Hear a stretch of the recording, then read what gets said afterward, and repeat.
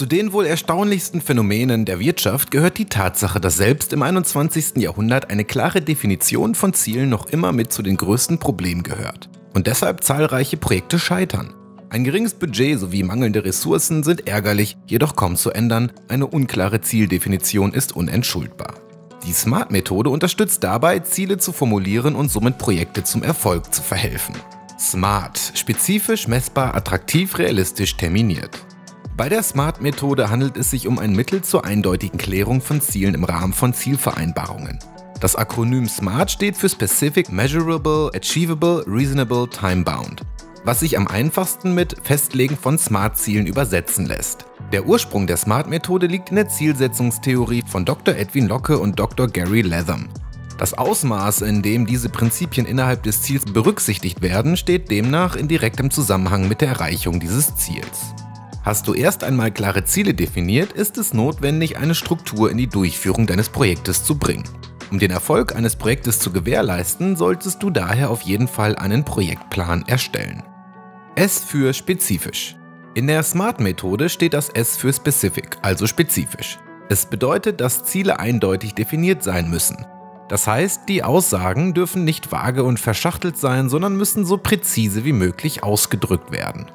Der Einsatz der SMART-Methode führt in der Regel dazu, dass für ein Problem mehrere spezifische Ziele gesetzt werden, anstatt ein einzelnes übergreifendes.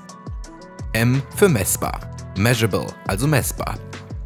Betont die Notwendigkeit der Implementierung konkreter Kriterien zur Messung des Fortschritts auf dem Weg zum Ziel. Ist ein Ziel nicht messbar, lassen sich Entwicklungen nicht erkennen und sind als solche nicht zu überprüfen.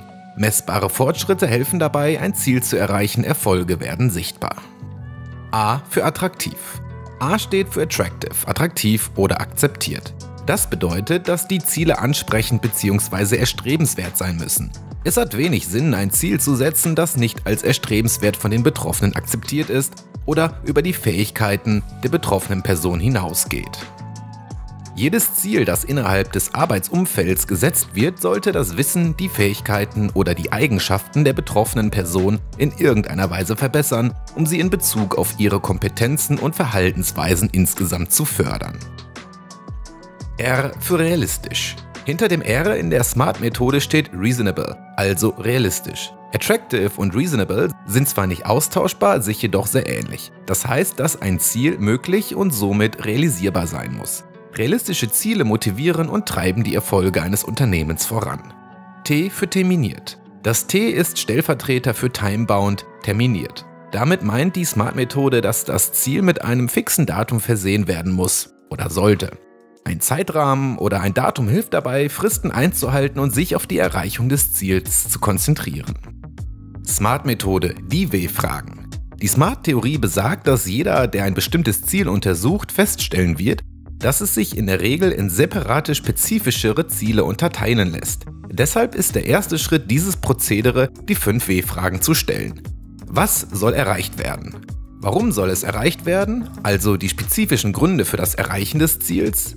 Wer ist beteiligt? Wo soll dieses Ziel erreicht werden? Also an welchem Ort? Welche Herausforderungen und Einschränkungen gibt es? In den meisten Fällen sind nur einige der W-Fragen relevant, dennoch lohnt es sich, alle Fragen durchzugehen, um sicherzustellen, dass nichts vergessen wird. Ein gutes Smart-Methode-Beispiel ist in diesem Zusammenhang das Ziel Verbesserung der Bearbeitung von Kundenanfragen für technischen Support. Damit würden die W-Fragen der Smart-Methode folgenden Ansatz bedeuten. Was? Was bedeutet in diesem Zusammenhang verbessern? Steht es für schneller, genauer oder eine andere Maßnahme? Warum? Worin liegt der Sinn dieser Verbesserung und welchen Nutzen bringt die Veränderung dem Unternehmen? Wer? Wer muss welche Maßnahmen ergreifen und wer wird davon profitieren? Wo? Wo werden die Maßnahmen durchgeführt? Welche? Welche Teile des Prozesses Bearbeitung von Kundenanfragen sind betroffen? Fazit. Klare Ziele sind äußerst nützliche Werkzeuge, die bei der Motivation von Personen unterstützen und informieren.